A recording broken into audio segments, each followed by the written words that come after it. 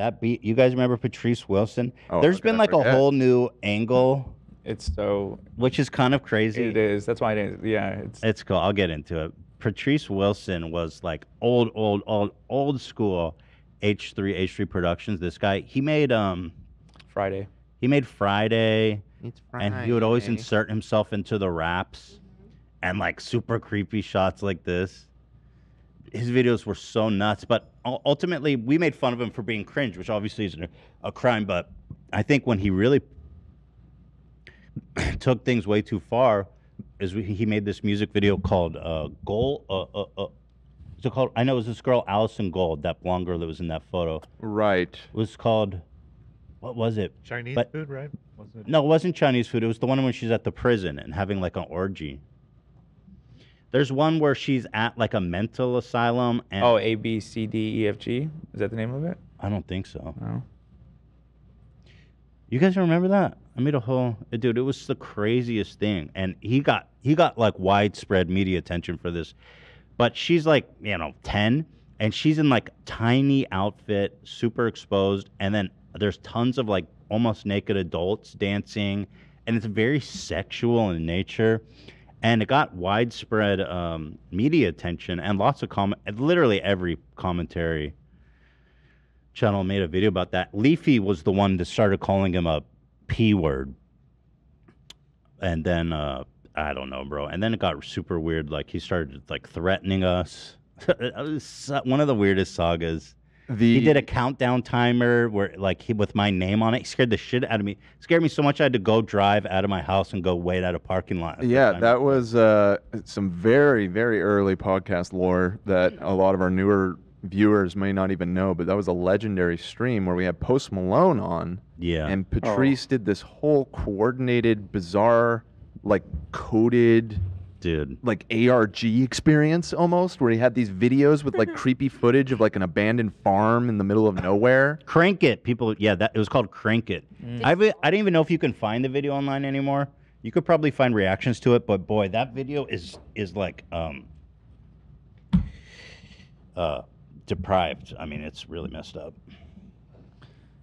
I remember that stream. It was hilarious. Dude, it was scary. I couldn't tell how like scared you guys actually were. I was. They- they were us? legitimately Because I know scared. I Post can attest was. to that. Yeah, Well- Post was like I knew for sure. Was Like, like, once the "Don't stream count was me." over, Dude, I left my house. It yeah, was they were so like loud. they I was were like, "What's afraid to go going on?" home. Holy shit! I mean, he was seeming he was like stalking you in real time. Like, Right. And then the thing was that he made a video afterwards saying, like, calling me out and saying he wanted to unalive himself and stuff. And, you know, obviously that's horrible to hear. I, I, I personally don't know why he targeted me when I felt like there was other people that I, he was the said main worse things character about at the him. time of the internet. Like, yeah, and there was so many people talking about it, and like, I guess your video did get pretty popular, but uh, I think Leafy put it did a on- ton of videos on him that got a lot of views, and with literally the title like "This guy is a literal pe," you know. Right. Yeah. Literally.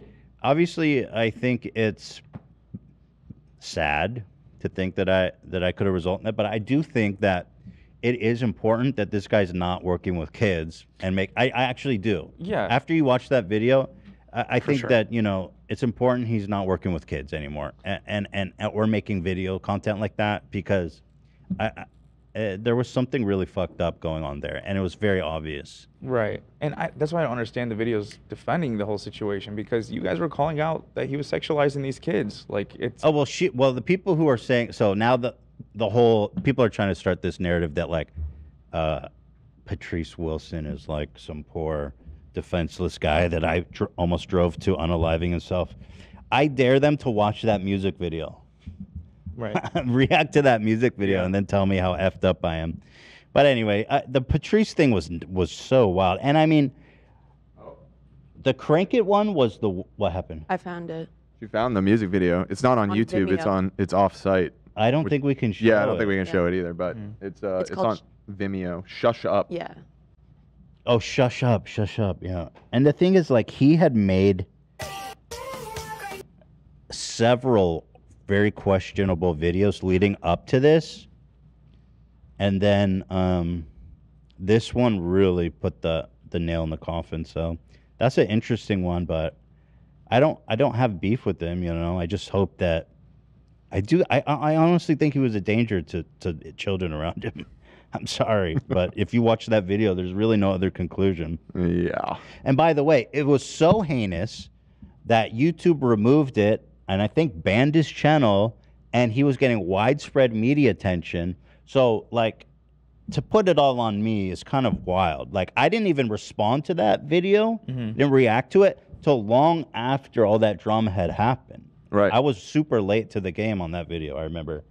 Yeah, he has Chinese food. You know, it, they're all super weird. People were saying uh, Go Canaro. I don't care about him. I mean, that's all ancient history shit.